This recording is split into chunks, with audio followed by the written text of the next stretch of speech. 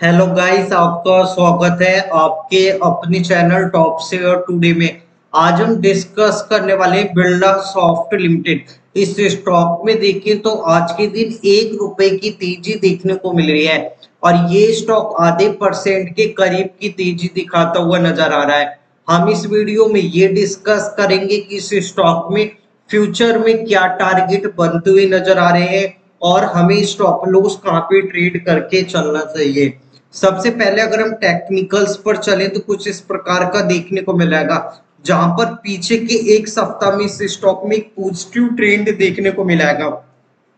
और एक महीने में इस स्टॉक में चार परसेंट से भी ऊपर की गिरावट देखने को मिल रही है। और एक महीने में देख सॉरी तीन महीने में देखें तो इस स्टॉक में ऑलमोस्ट आठ परसेंट के करीब की गिरावट देखने को मिली है। तो छह महीने में इस स्टॉक में साढ़े सात परसेंट के करीब की गिरावट देखने को मिल रही है। और एक साल में इस स्टॉक में 45 परसेंट के नेगेटिव रिटर्न दिए हैं। इस स्टॉक में देखें तो काफ़ी निवेशकों को एक बड़ा नुकसान होता हुआ नज़र आ रहा है। जैसे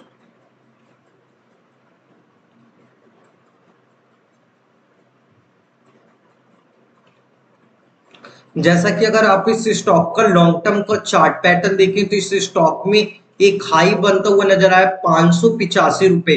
पाँच सौ पिचासी रुपए इस स्टॉक में इस पॉइंट पर एक हाई बना।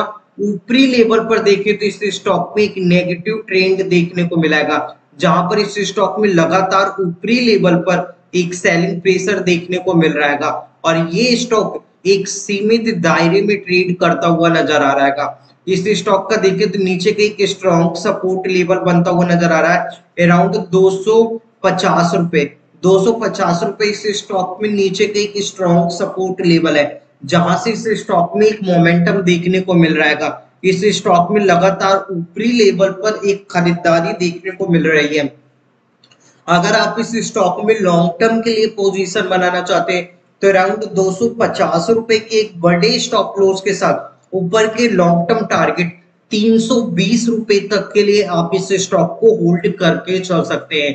और अगर आप इस स्टॉक में शॉर्ट टर्म के लिए पोजीशन बनाना चाहते हैं तो अराउंड दो बासठ रुपए के एक छोटे स्टॉप लॉस ऊपर के शॉर्ट टर्म टारगेट दो सौ अठहत्तर रुपए तक के लिए आप इस स्टॉक को होल्ड करके चल सकते हैं।